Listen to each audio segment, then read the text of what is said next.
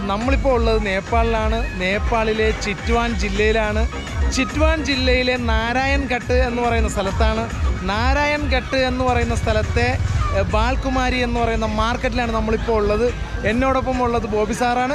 ഞാൻ മൻസൂർ മുഹമ്മദ് ത്രിപുരം ട്രാവലറിന്റെ പുതിയൊരു എപ്പിസോഡിലേക്ക് ഏവർക്കും സ്വാഗതം. പക്ഷെ മലയാളം പക്ഷെ മലയാളം പറയുന്ന ഒരാളെ നമുക്ക് കിട്ടിയിട്ടുണ്ട്. കേട്ടോ കുറച്ച് കുറച്ച് മനസ്സിലായിരുന്നു നമ്മൾ പറയുന്ന സാധനം പിടിച്ചു തരും ആ പിടിച്ചോ അതല്ല.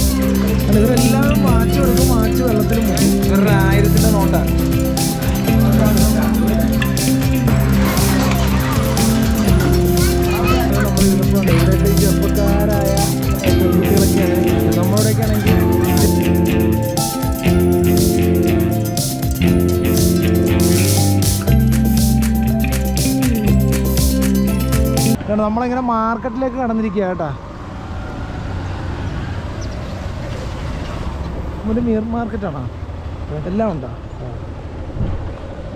ഇത് കണ്ടോ? വലിയ ഇവിടുത്തെ വലിയൊരു മാർക്കറ്റാണേ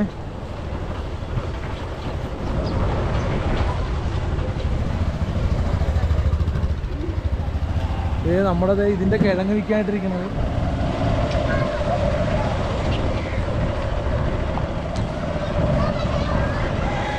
കോഴി പച്ചക്കറി നമ്മൾ ഈ മാർക്കറ്റിൽ എന്തിനാ വന്നതെന്നറിയാവോ ഒന്ന് നിങ്ങളെ ഇവിടുത്തെ ഈ മാർക്കറ്റിൽ നിന്ന് കാണിക്കണം. കാര്യം ഇവിടുത്തെ ഉള്ളതില എല്ലാം കൂടി നമ്മുടെ പഴയ ഒരു അങ്ങാടിയില്ലേ? അങ്ങാടി എന്നൊക്കെ നമ്മൾ പറയുന്ന കമ്പോളം അങ്ങാടി എന്നൊക്കെ പറയുന്ന ഒരു കൺസെപ്റ്റ് ഉണ്ടല്ലോ നമ്മുടെ പഴയ. ആ ഒരു രീതിയിലുള്ള ഒരു മാർക്കറ്റാണ് ഇപ്പോൾ ഇപ്പോൾ സത്യം പറഞ്ഞാൽ നമ്മുടെ കേരളത്തിലൊക്കെ പോയി കഴിഞ്ഞാൽ വളരെ അപൂർവം ചില സ്ഥലങ്ങളിൽ മാത്രമേ ഉള്ളൂ. മാർക്കറ്റ് എന്നൊക്കെ പറയാനായിട്ടുള്ളൂ. കാരണം നമ്മുടെയൊക്കെ നാട്ടിൽ നമ്മുടെ ഫാദറൊക്കെ ഇരുന്നൊരു മാർക്കറ്റൊക്കെ സിനിമയിലൊക്കെ വരെ വന്നിട്ടുള്ള മാർക്കറ്റുകളാണ് പക്ഷേ ഇന്നൊന്നും ആ മാർക്കറ്റില്ല എല്ലാം ക്ഷയിച്ചു പോയി. അതുപോലെ തന്നെ കേരളത്തിന്റെ പല സ്ഥലങ്ങളിലും അത് ക്ഷയിച്ചു പോയി. പക്ഷേ ഇപ്പോഴും ഒരു കുഴപ്പവും ഇല്ലാതെ ഇവരൊക്കെ ഇവരുടെ ഈ മാർക്കറ്റുകളെല്ലാം നിലനിർത്തിക്കൊണ്ടായിരിക്കുന്നത്. ഇപ്പം നമ്മുടെ എല്ലാവരുടെയും വീടുകളുടെ വാതിക്കസ വരുവാണ് സാധനങ്ങൾ അല്ലേ? അപ്പോൾ ഈ മാർക്കറ്റിൽ പച്ചക്കറി തൊട്ട് കോഴി ആട് മാട് മീൻ എന്ത് സാധനങ്ങളും കിട്ടും. അപ്പോൾ നമ്മുടെ ബോബി സാറിനെ നമുക്ക് ഇവിടെ കുറച്ച് മീൻ നിന്ന് വാങ്ങിക്കണം. അപ്പോൾ ആ മീൻ വാങ്ങിക്കുന്നതിന് വേറൊരു പ്രത്യേകതയുണ്ട്. ആ മീൻ കിട്ടുന്നതെന്ന് പറഞ്ഞാൽ ജീവനോടെയാണ് നമുക്ക് തരുന്നത്. സ്പോട്ടിൽ നമ്മൾ പറയുന്ന മീൻ നമുക്ക് തരും. അപ്പോൾ ആ കാഴ്ച നമുക്കൊന്ന് നോക്കാം. ഇതുണ്ടത് ഇവിടെയൊക്കെ അതെല്ലാം മീൻ കടയാണല്ലേ?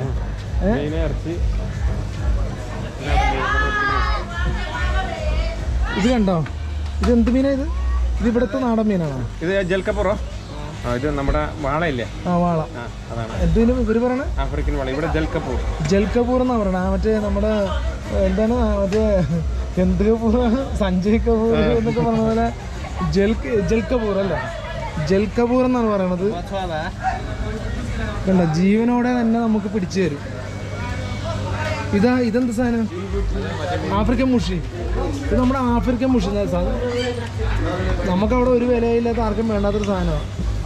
ആഫ്രിക്കൻ മുഷിയാണ് കേട്ടോ നമ്മുടെ ഇത്. ഇതിന് ഇവരെ ഇവരെന്താ പറയണേ? മാങ്കുറ. മാങ്കുറ. ആ മാങ്കുറ എന്നാണ് കേട്ടോ ഇവരിതിന് ഇതിന് പറയുന്നത്. ഇതുണ്ട? കിടന്ന്.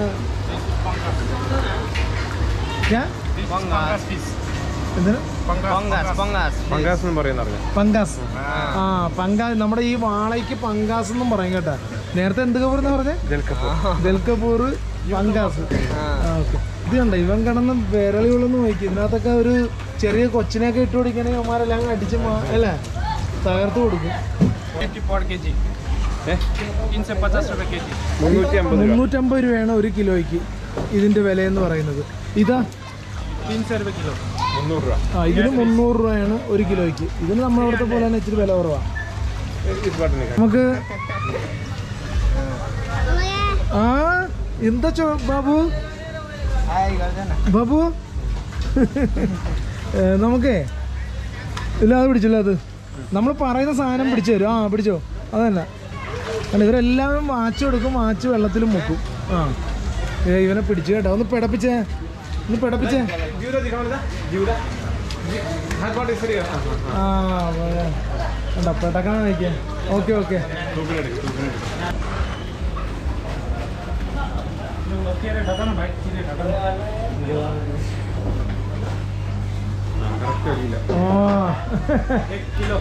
ഓക്കെ ഓക്കെ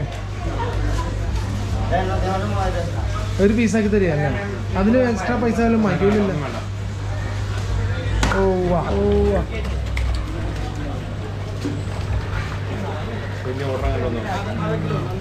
വലിയ അല്ല തിരിച്ചിങ്ങോട്ട് ഇടുവോ? കൊണ്ടുവരിക.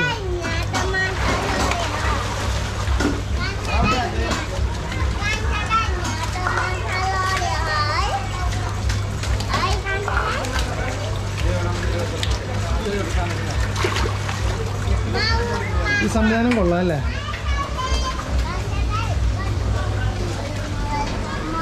ഇത് കണ്ടത് ഇവിടെയൊക്കെ സ്റ്റോക്ക് ചെയ്തിട്ടുണ്ട് കേട്ടോ ഇത് വൻ- ഭയങ്കര സെറ്റപ്പിൽ ഇത് കണ്ടോ ഇവിടെയും അവിടെയും എല്ലായിടവും ഇങ്ങനെ സ്റ്റോക്ക് ചെയ്ത് വെച്ചിരിക്കുക ഒരാളെ ഇത് പീസാക്കാൻ തന്നെ അങ്ങോട്ട് ഇരുത്തിയിരിക്കുക नाम क्या बाबू है प्रेम मगर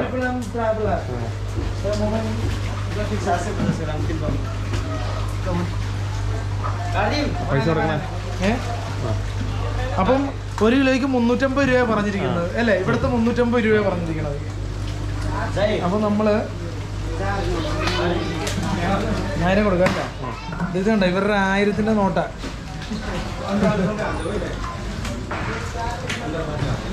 പക്ഷെ വേറെ രസം എന്ന് പറഞ്ഞാൽ ഇവർ കൈ നിറച്ച് കാശ് തരും. തിരിച്ച് ഇവരുടെ കയ്യിൽ കൈ നിറച്ച ഇവർ കാശ് തരും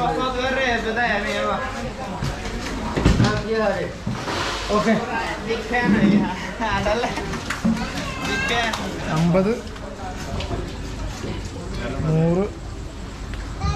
അഞ്ഞൂറ്. അറുന്നൂറ്റമ്പത്. വേറെ രസം എന്ന് പറഞ്ഞാലേ ഇവരെ കൂടുതൽ ആൾക്കാരും കഴിക്കുന്ന ഇവർക്ക് കൂടുതൽ ഇഷ്ടം ഇതാണെന്ന് തോന്നുന്നു അല്ലേ? ഈ നാടൻ കോഴിയും നാടൻ താറാവൊക്കെയാണ് അവർക്ക് ഏറ്റവും കൂടുതൽ ഇഷ്ടം. ബ്രോയിലറുണ്ട് പക്ഷെ നമ്മളവിടെ നേരെ തിരിച്ചില്ല. ബ്രോയിലറല്ല ഏറ്റവും കൂടുതൽ ഉണ്ടാകുന്നത്. പക്ഷേ ഇവിടെ ബ്രോയിലർ കുറവും നാടൻ കോഴിയും താറാവൊക്കെ കൂടുതലൊക്കെയാണ് ഈ മാർക്കറ്റിൽ ഇത് കണ്ടത്? താഴെയൊക്കെ എന്തുമാത്രം താറാവ്? നമ്മുടെ അവിടെയൊക്കെ ആണെങ്കിൽ ഒന്നോ രണ്ടോ താറാവിനെ പേരിനിടും. ഇത്? എന്നാ താറാവ് ഇത് flying ducks plane flying ducks plane ducks ആ പ്ലെയിൻ ഡെക്ക് പറക്കുന്ന അല്ല? Hi. Hi. Tata. Hi. Hi. Hi ഒരു സലാം.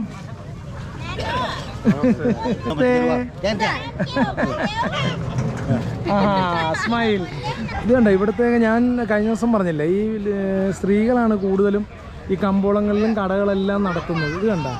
ഓരോ ആ മാർക്കറ്റിലൊക്കെയാണ് നമ്മൾ ഇരുന്നപ്പോൾ കണ്ടത് ഇവിടെയൊക്കെ ഈ ചെറുപ്പക്കാരായ പെൺകുട്ടികളൊക്കെയാണ് ഇരിക്കുന്നത്. നമ്മളവിടെയൊക്കെ ആണെങ്കിൽ ഇതേപോലെ നമ്മൾ നമ്മുടെ പിള്ളേരൊക്കെ ഇതേപോലെ ഇരിക്കുമോ ഇരിക്കുന്നവരുണ്ട് ഇരിക്കുന്നവരെല്ലാം രക്ഷപ്പെട്ടിട്ടുമുണ്ട് നമ്മളവിടെ അല്ലേ? നമ്മളവിടെ ചെറുപ്പക്കാർ പിള്ളേരൊക്കെ പണിക്ക് ഇറങ്ങിയിട്ടുണ്ട് അവരെല്ലാം രക്ഷപ്പെട്ടിട്ടുമുണ്ട്.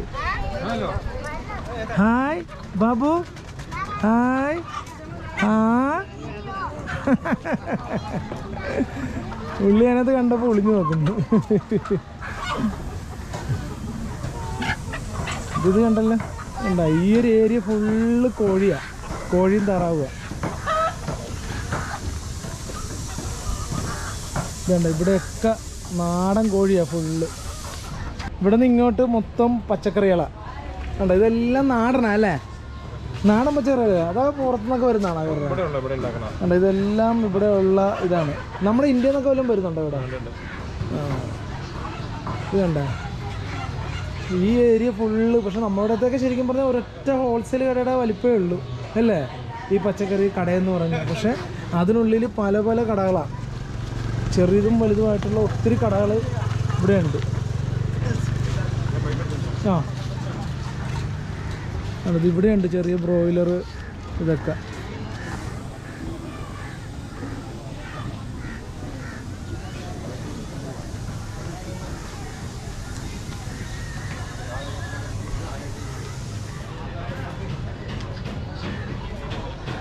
വലിയ മട്ടനായൊക്കെ എടുത്ത് കിട്ടുന്ന എനിക്ക്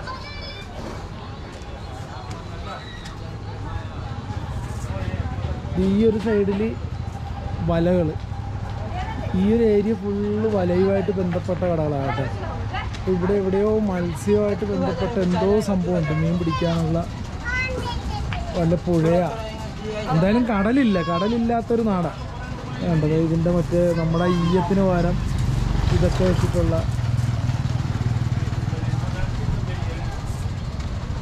ഉണ്ടല്ലോ അവിടെയൊക്കെ ഉണ്ട് വലക്കടകൾ. ഇത് കണ്ടോ? ഈ ഏരിയ ഫുള്ള് വലക്കടകളാണ് ഈ വലക്കടകളായതുകൊണ്ട് തന്നെ ഇവിടെ എവിടെയോ മീൻ കിട്ടുന്ന എന്തോ പരിപാടിയുണ്ട്. പിന്നെ നമ്മ നമുക്ക് ഇവിടെ മാർക്കറ്റ് വന്നപ്പോഴേ ഈ സാധാരണ എവിടെ ചെന്നാലും നമുക്കൊരു മലയാളി കിട്ടുമെന്നല്ലേ പക്ഷെ ഇവിടെ നമ്മൾ നേപ്പാളിൽ ഇവിടുത്തെ മാർക്കറ്റിൽ എത്തിയപ്പോൾ മലയാളിയല്ല പക്ഷെ മലയാളം പക്ഷെ മലയാളം പറയുന്ന ഒരാളെ നമുക്ക് കിട്ടിയിട്ടുണ്ട്. കുറച്ച് കുറച്ച് മനസ്സിലായി. ആ കുറച്ച് കുറച്ച് മനസ്സിലായി. ആ കുഴപ്പമില്ല. കണ്ടോ കുറച്ച് കുറച്ച് മനസ്സിലായെന്ന്. അതായത് നമുക്ക് ചോദിക്കാം പുള്ളിയുടെ വിശേഷമൊക്കെ. പേരെന്താ? ആ പേര്. വിവേക്. വിവേക് എന്നാണ് കേട്ടോ പുള്ളിയുടെ പേര്. മലയാളം എങ്ങനെ അറിയാം? കുറച്ച്. കുറച്ചറിയാം. എങ്ങനെ അറിയാം? കേരളത്തിൽ വന്നിട്ടുണ്ടോ? മനസ്സിലായില്ല? കേരളത്തിലല്ല ഇവർ വിദേശത്തുണ്ടായിരുന്നു. ഇത് വിദേശ ആ വിദേശ ദുബായ്. ദുബായ്. ദുബായ് ഫ്രണ്ട്സ് ഒക്കെ ആയിട്ട് സംസാരിച്ച് കിട്ടിയതാണ്. അതായത് ദുബായിൽ ഫ്രണ്ട്സ് ഒക്കെ അവർ ഒരു മുറിക്കകത്തൊക്കെ കിടന്ന് അങ്ങനെ പഠിച്ചെടുത്തതാ. ഈ അറിയാവുന്ന മലയാള ഇതെന്ന് പറഞ്ഞേ അറിയാവുന്ന മലയാളം. എന്താ? എന്തൊക്കെ അറിയാം മലയാളത്തിൽ? നീ ഭക്ഷണം കഴിച്ച? ഭക്ഷണം കഴിച്ച? നീ ഭക്ഷണം കഴിച്ചോ? ആ. ഇത് എന്താ പേര്? ചേട്ടാ നാട്ടിൽ എവിടെ? ആ ചേട്ടൻ നാട്ടിൽ എവിടെയാണ്? ഇത് കുറച്ച് കുറച്ച് മനസ്സിലായ? കുറച്ച് കുറച്ചൊക്കെ അറിയാം.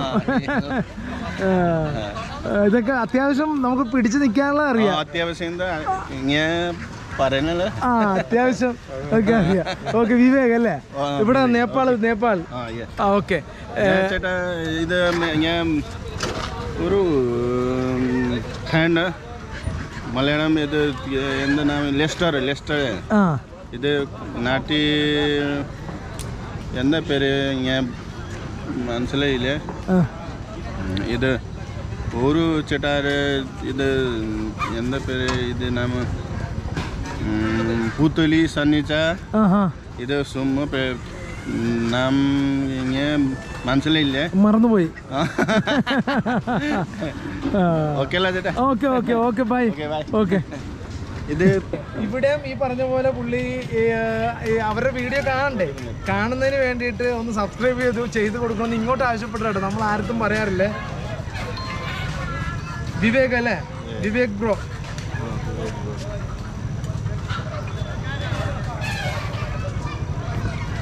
ത്രിപ്ലം ട്രാവലർ. ട്രാവലർ.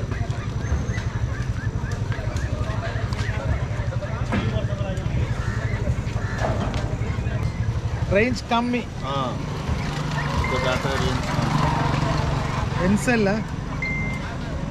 ഓക്കെ അല്ല. കുറച്ച് മനസ്സിലായി. പുള്ളിക്ക് കുറച്ച് മനസ്സിലായി. അങ്ങനെ നമ്മുടെ അടുത്തേക്ക് വന്നതാ കേട്ടാ. ഇങ്ങോട്ട് തേടി എത്തിയതാ. എന്താ സംഭവം എന്ന് അറിയാൻ വേണ്ടിട്ട്